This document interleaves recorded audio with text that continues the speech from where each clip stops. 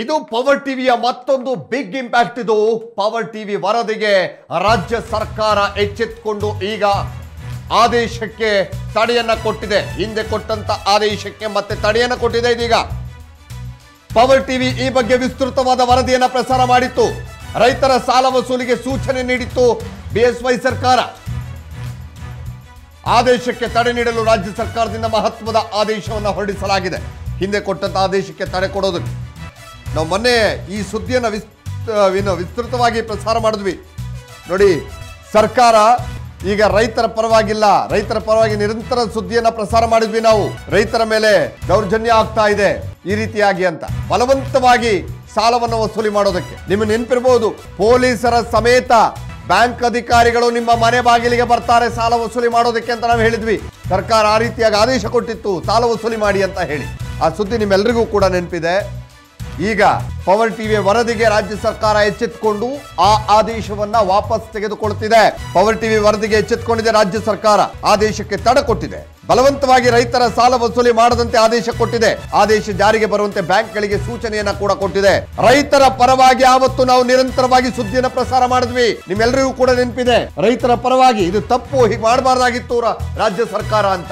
ದೊಡ್ಡಪ್ಪ ದೇಸಾಯಿ, ರಾಜ್ಯದ ರಾಜ್ಯ ಪಿ ಎಲ್ ಡಿ ಬ್ಯಾಂಕ್ನ ನಿರ್ದೇಶಕರು ದೊಡ್ಡಪ್ಪ ದೇಸಾಯಿ ಅವರು ಅವರು ಹೇಳಿಕೆ ಕೊಟ್ಟಿದ್ದಾರೆ. ಹೌದು, ಆದೇಶ ಜಾರಿಗೆ ಬರುವಂತೆ ಬ್ಯಾಂಕ್ಗಳಿಗೆ ಸೂಚನೆ ಕೊಡಲಾಗಿದೆ. ಬಲವಂತವಾಗಿ ರೈತರ ಸಾಲ ವಸೂಲಿ ಮಾಡದಂತೆ ಸರ್ಕಾರ ಆದೇಶ ಕೊಟ್ಟಿದೆ ಅಂತ. ಎಸ್, ಮೊನ್ನೆಯ ದೃಶ್ಯಾವಳಿಗಳನ್ನ ಕೂಡ ನೋಡ್ತಾ ಇದ್ರಿ. ನೋಡಿ ಟ್ರ್ಯಾಕ್ಟರ್ ಅನ್ನ ಸಾಲ ಪಡ್ಕೊಂಡಿದ್ದಂತಹ ಸಾಲದಲ್ಲಿ ಟ್ರ್ಯಾಕ್ಟರ್ ಪಡ್ಕೊಂಡಿದ್ದ ಆತ. ಆತನಿಗೆ ಟ್ರ್ಯಾಕ್ಟರ್ ವಸೂಲಿ ಮಾಡ್ಕೊಳ್ಳೋಕ್ ಬಂದಿದ್ರು. ಸಾಲ ವಸೂಲಿಗೆ ಟ್ರ್ಯಾಕ್ಟರ್ ಅನ್ನ ಎತ್ಕೊಂಡು ಹೋಗ್ತೀವಿ ಅಂತ. ಮೊನ್ನೆ ನಾವು ಪ್ರಸಾರ ಮಾಡಿದಂತಹ ಸುದ್ದಿ ಇದು. ಅದಕ್ಕೆ ಈಗ ರಾಜ್ಯ ಸರ್ಕಾರ ಎಚ್ಚೆತ್ತುಕೊಂಡು ಮರು ಆದೇಶವನ್ನು ಕೊಟ್ಟಿದೆ, ಆ ಹಿಂದೆ ಕೊಟ್ಟಂತ ಆದೇಶಕ್ಕೆ ತಡೆ ಕೊಟ್ಟಿದೆ. ಇದು ಪವರ್ ಟಿವಿಯ ಬಿಗ್ ಇಂಪ್ಯಾಕ್ಟ್ ಇದು. ಎಸ್, ನೀವು ನೋಡ್ತಾ ಇದ್ರಿ ಇನ್ನೊಂದು ಕಡೆ ಲೆಟರ್ ಅನ್ನ ನೋಡ್ತಾ ಇದ್ದೀರಿ, ಪತ್ರವನ್ನ. ಇದು ಈಗ ಆ ಹಿಂದೆ ಕೊಟ್ಟಂತ ಆದೇಶಕ್ಕೆ ತಡೆ ಕೊಟ್ಟಿರುವಂತ ಆದೇಶ ಪತ್ರ ಇದು ರಾಜ್ಯ ಸರ್ಕಾರ. ರೈತರ ಸಾಲವನ್ನು ಬಲವಂತವಾಗಿ ವಸೂಲಾತಿ ಮಾಡಲಾಗ್ತಾ ಇದೆ ಅನ್ನೋ ಸುದ್ದಿ ಬಿತ್ತರವಾಗುತ್ತಿದ್ದಂತೆ